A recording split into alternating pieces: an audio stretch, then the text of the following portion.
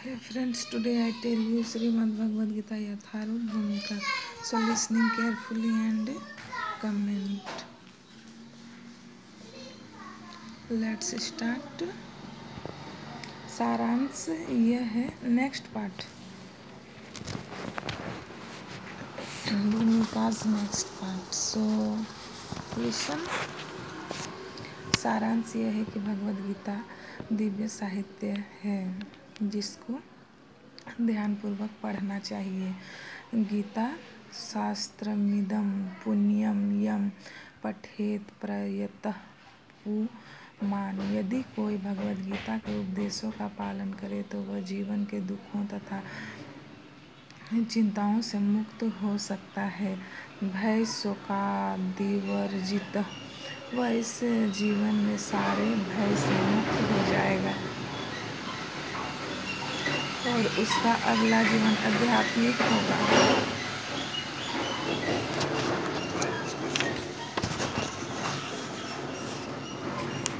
गीता ध्ययनशीलस्य प्राणायाम पर परप्स्य च नैव सन्ति हि पापानि पूर्वजन्म।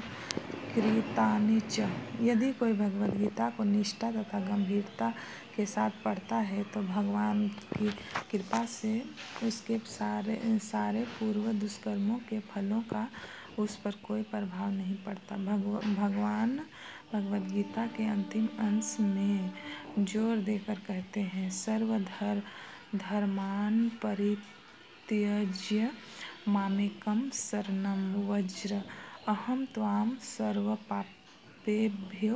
मोक्षी, मोक्षिष्यामि, माँ सूच सब धर्मों को त्याग कर एकमात्र मेरी ही शरण में आओ। मैं तुम्हें समस्त पापों से मुक्त कर दूँगा।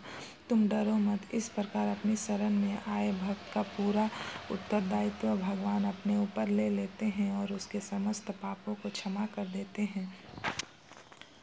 मलिने मोचनम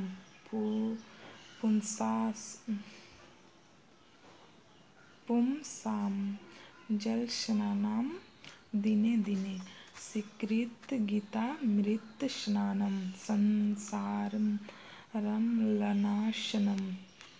मनुष्य जल में स्नान करके नित्य अपने को स्वच्छ कर सकता है, लेकिन यदि कोई भगवद गीता रूपी पवित्र गंगा जल में एक बार भी स्नान कर ले तो वह भौतिक जीवन की मलिनता से सदा सदा के लिए मुक्त हो जाता है।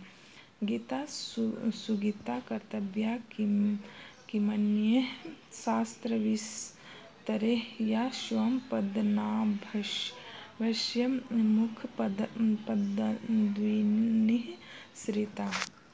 जो कि भगवद गीता भगवान के मुख से निकलती है अतः किसी अन्य वैदिक साहित्य को पढ़ने की आवश्यकता नहीं रहती। उसे केवल भगवद गीता का ही ध्यानपूर्वक तथा मनोयोग से श्रवण तथा पाठन, पठन करना चाहिए। वर्तमान युग में लोग संसारिक कार्यों में इतने व्यस्त हैं कि उनके लिए समस्त वैदिक साहित्य का अध्ययन कर पाना संभव नहीं है, परंतु इसकी आवश्यकता भी नहीं है। केवल एक पुस्तक भगवद गीता ही पर्याप्त है, क्योंकि ये समस्त वैदिक ग्रंथों का सार है और इसका प्रवचन भगवान ने किया है।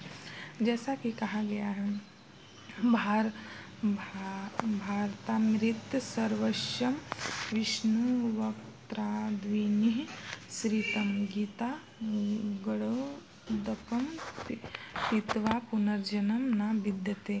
जो गंगाजल पीता है वह मुक्ति प्राप्त करता है अतः उसके लिए क्या कहा जाए जो भगवत गीता का अमृत पान करता हो? भगवत गीता महाभारत का अमृत है उसे इसे भगवान कृष्ण ने स्वयं सुनाया है। भगवत गीता भगवान के मुख से निकली है और गंगा भगवान के चरण कमलों से निकली है। निसंदेह भगवान के मुख तथा चरणों से कोई अंतर नहीं है, लेकिन निष्पक्ष अध्ययन से हम पाएँगे कि भगवत गीता गंगा जल की अपेक्षा अधिक महत्वपूर्ण है। सर्वोपनिषदो गावो दुग्धा गोपाल नंदन पार्थो वत्स सुधीर भोक्ता दुग्धम गीतामृतम महत यह गीतोपनिषद भगवद गीता जो समस्त उपनिषदों का सार है, गाय के तुल्य है और ग्वाल बाल के रूप में विख्यात भगवान कृष्ण। इस गाय को दूह रहे हैं। अर्जुन बछड़े के समान है और सारे विद्वान तथा शुद्ध भक्त भगवद गीता के अमृतमय दूध का पान करने वाले हैं।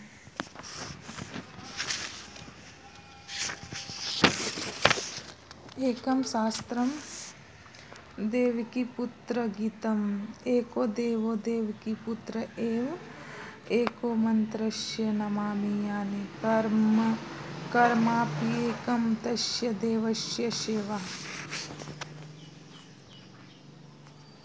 आज के युग में लोग एक शास्त्र, एक ईश्वर, एक धर्म तथा एक वृत्ति के लिए अत्यंत उत्सुक हैं। अतएव एक शास्त्रम देव की पुत्र गीतम केवल एक शास्त्र भगवद गीता हो, जो सारे विश्व के लिए हो।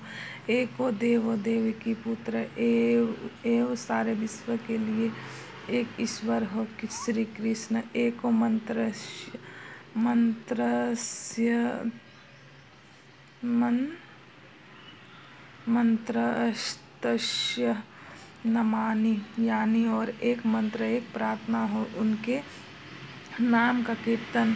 हरे कृष्ण हरे कृष्ण कृष्ण कृष्ण, हरे हरे हरे राम हरे राम राम राम, हरे हरे। कर्माप्येकम तस्य देवस्य सेवा, केवल एक ही कार्य हो, भगवान की सेवा। So I hope guys you like this video and subscribe my YouTube channel and this is uh, all parts of bhumika i um, i read and uh, next part adhyay we go to adhyay so thanks for watching bye